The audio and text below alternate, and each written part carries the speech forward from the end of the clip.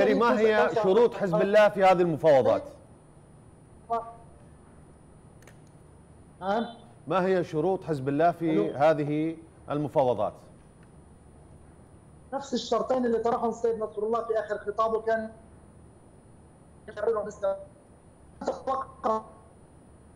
في جنوب لبنان لأن لهذه العمليات قدرة تدميريه وقدرة تأثيرية على الجبهة الشمالية وعلى المستوطنين الذين هجروا من فلسطين المحتلة وهم بمئات الألاف أصبحوا الآن وأيضا له تأثير كبير على بنيه على على قدرة المقاومة في غزة من أجل تثبيت موقعها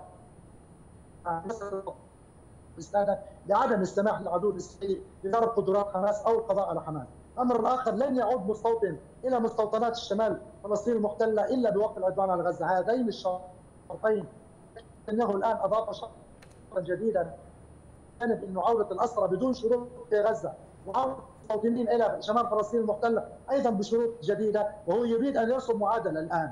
إنه تهجير أبناء الجنوب من قراهم من قراهم أيضا بيوضعوا شرطا جديدا على مسألة التفاوض، حزب الله ليس له في العدوان على غزة ولن يعود مستوطن إلى محتله إلا بوقف العدوان على غزه طيب هل صحيح سيد سيد سيد حسان؟ سيد حسان عذر المقاطعة. هل صحيح أن نتنياهو يعمل بمسارين؟ الأول هو ضرب الدفاعات آه، دفاعات حزب الله.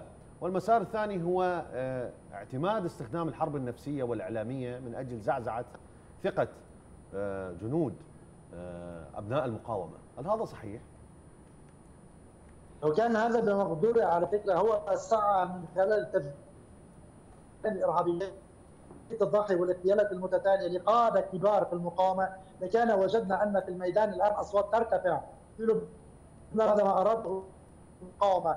لتقول للسيد نصر الله والمقاومة كفى لا نريد أن نكمل في هذه الحرب. أما وقد حصل ما حصل في الأيام الماضية من خلال الترويع كما يقال والصدمة من أجل التاثير على بيئة المقاومة هذا لن يجدي نفعا. أنا باعتقادي أنا من من الناس الذين قدموا شهيده هي والدة زوجتي على طريق القدس. ونحن وأبناء هذه العائلة نقول للسيد نصر الله ولبيئة المقاومة وللمجاهدين اكملوا المسير ونحن وراءكم، كل هذا التدمير وهذا التجزير والقتل في الميدان لن يجدي نفعا لأن هذه التجربة مع المقاومة منذ عام 42 بيئة المقاومة تتعرض للاغتيال وتتعرض للاستهداف.